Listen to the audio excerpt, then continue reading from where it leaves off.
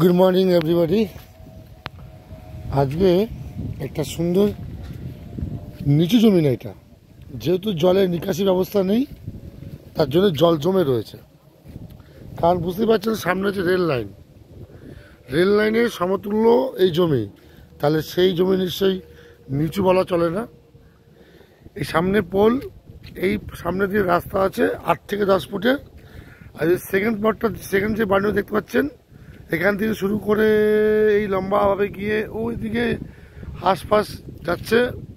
ওই যে হাঁস এবং ওই সামনে যে বড় কাশবন, টোটাল তিন বিঘে পাঁচ কাঠা জমি সেল আছে। জমির সমস্যা বলতে কিচ্ছু নেই। ওই Madampur to Chakdah main road এই জমির থেকে পাঁচশো মিটার দূরে। জমিতে এখনও পর্যন্ত কোনো প্লটিং চল হয়নি, যার কারণে জমি এখনও কেনাবেচা হয়নি। কিন্তু এবার শুরু হয়ে গেলে কেনাবেচা তাহলে জমি অমূল্য সম্পদ।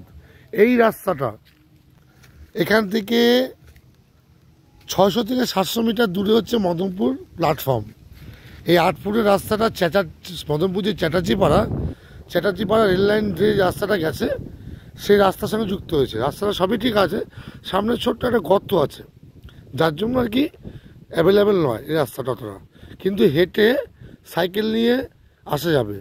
যদি এখান থেকে আসতে অসুবিধা হয়, তাহলে এই যে এই পাড়টা ওপারে যে গাঙ্গুলি পাড়া আছে, এই যে রেল লাইনটা দেখছেন রেল লাইনটা? এই যে গাছটা পড়ে আছে, ওই সামনে গাঙ্গুলি পাড়া একটা দশ ফুটের রাস্তা। আমরা ওই জায়গায় চার চাকা রেখে রেলের উপর দিয়ে আমি এই জমিতে চলে আসলাম। রাস্তা লাগোয়া এখান থেকে দশ কাঠা মতন জমি একজন নিয়েছে, আর ওই পোল থেকে আপনার তিন বিঘে পাঁচ কাঠা জমি কম দামে সেল আছে। যারা কম দামে জমি ইনভেস্ট করতে চাইছেন তাদের জন্য উপযুক্ত জায়গা? মদনপুর চ্যাটার্জি পাড়া ওই মদনপুর তো চাকদা মেন রোড ওই যে দেখতে পাচ্ছেন? ওই যে যাচ্ছে গাড়ি। ওটা এখান থেকে ম্যাক্সিমাম পাঁচশো মিটার দূর। আর রেল লাইনের ওপারে হচ্ছে গাঙ্গুলি পাড়া একশো মিটার। মদনপুর যে চ্যাটার্জি পাড়াটা সেই চ্যাটার্জি পাড়া এখান থেকে একশো মিটার আর মদনপুর স্টেশন এখান থেকে সাতশো মিটার।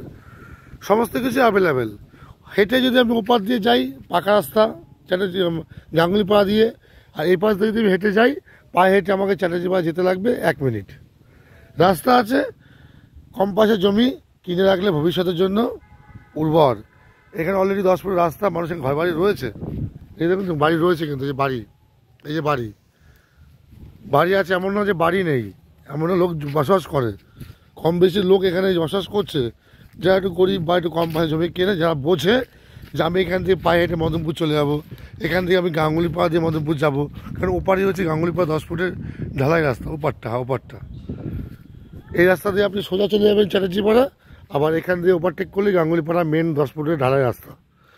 আপনি যেখান দিয়ে খুঁজে সেখান দিয়ে যেতে পারবেন, কোনো সমস্যা নেই। সুন্দর মনোরম পরিবেশে সবুজ ঘেরা পরিবেশে যাতায়াতের কোনো সমস্যা নেই। স্কুল, কলেজ বাজার ঘাট সব পাঁচশো মিটারের মধ্যে।